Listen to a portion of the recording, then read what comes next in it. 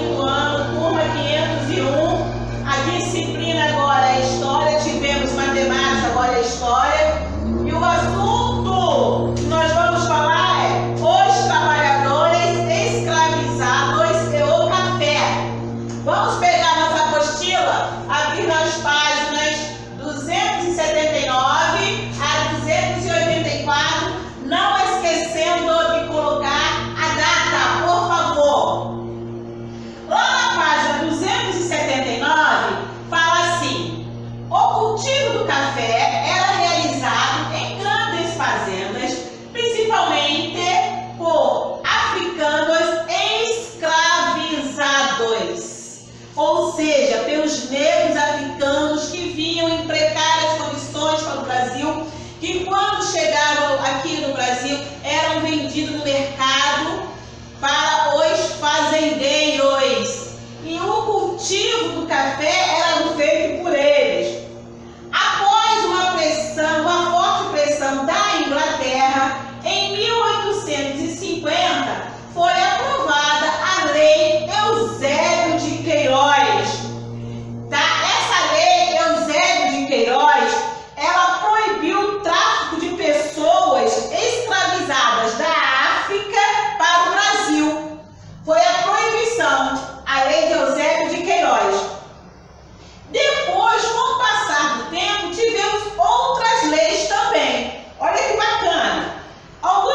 depois, olha só, a lei de Eusébio de Queiroz foi de 1850, que proibiu o tráfico de negros para o Brasil, tá? Em 1871 foi aprovada a lei de ventre livre. Lembra que a tia falou? A lei do ventre livre era aquela lei que todos os escravos que nasciam na partir daquela época não eram mais escravos, tá? E aí, é, concedeu a liberdade a todos os filhos de mães de escravas nascidos a partir daquela data. Para continuar utilizando em suas fazendas, os cafeicultores passaram a comprá-los em outras regiões do país, principalmente no Nordeste brasileiro. Tá? Entretanto, diante da dificuldade cada vez maior de fazer uso da mão de obra escravizada, alguns fazendeiros encontraram outras soluções.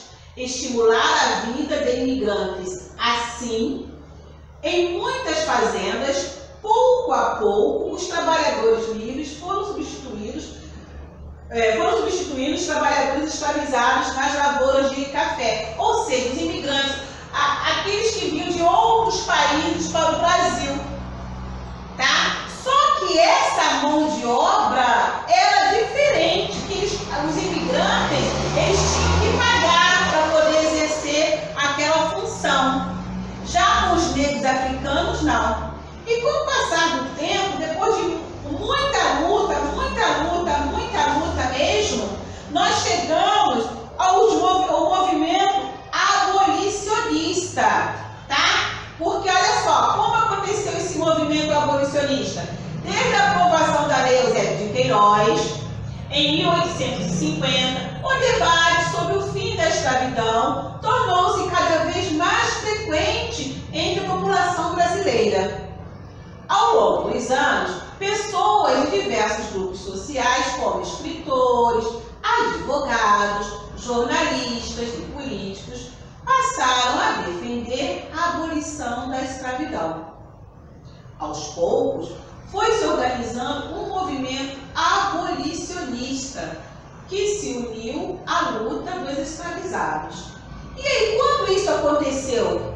No dia 13 de maio de 1888, finalmente o governo brasileiro aprovou a Lei Áurea, tá?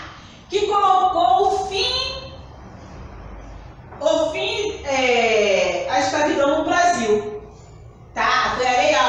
Foi a a, princesa Isabel que assinou esta lei. Definitivamente acabou com a escravidão no Brasil. Tá? E aí nós temos a página 281 até na página 284 uma atividade que a tia vai corrigir na próxima aula de história aqui no quadro. Tudo bom? Um beijo no coração.